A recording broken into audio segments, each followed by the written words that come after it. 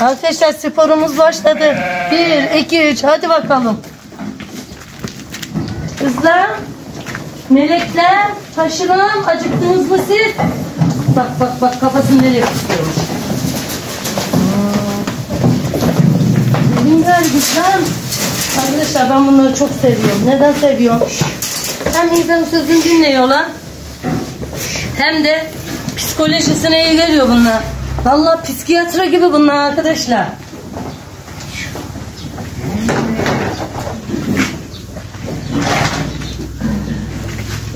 İçini yem kattık ya güçlensinler diye. Ondan bu kadar koşuşturuyor bunlar. Yemini derdindiler. Kızım.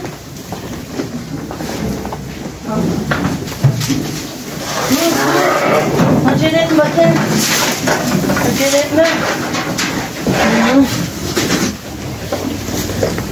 Allah kızdan dur kız tabiyle. Arkadaşlar biz bu erkeklere şimdi yaptığımız öbür damda bakım alacağız. Biraz bunlar zayıf. İri olanlar var. Zayıf olanlar var. Bunları ayrı beslemeye çekeceğiz biz şimdi arkadaşlar. Neden? Koyunlar biraz daha cüsseli ya. Bunları yedirmeyebilir. Ayrı ayrı besleyelim ki erkekler ayrı olsun. Kurbanı yetişsinler. Hem de bundan sonra güteceğiz. Kızım sen kameramanın bak verdin. Maşallah benim kızlarım arkadaşlar baksana. Bakımlı bunlar. Bakımlı. Gargız sen nereye atlıyorsun oraya? Git yerine. Ne ses ediyorsun sen? Gelelim arkadaşlar da. Kızım bak yine gelmiş buraya. Hinayet bu arkadaşlar hinayet. İlla mı odan yiyecek? Hazırcı.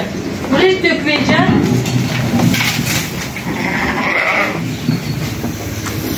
Şimdi neydi o da?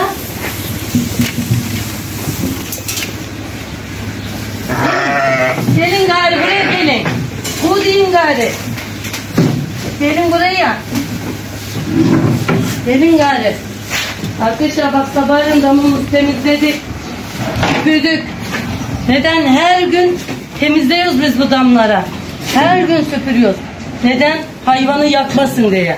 Hele yazın hiç altını bok olmaması lazım arkadaşlar. Bok hayvanın vücudunu yakıyor. Bundan köyünün kesim zamanı, altının boku, koşum zamanı. Hepsi bir iş. Hepsi bir bilgi. Bunları bilmezsen olmaz arkadaşlar. Dün sizi götürdüm Beyda Yaylası'na. İnşallah seneye gidecek bunlar. İnşallah seneye gittiğimizde kestane, cevizden içinde buz gibi kekik kokulu yayılacaklar. Gar suyundan, kekiyle büyüyecek bunlar. Ben de ne diyeceğim müşterilerime? Yiyi verin gar sütünden, etinden, yiyi verin kardeşim. Hoşçakalın, hoşçakalın arkadaşlar.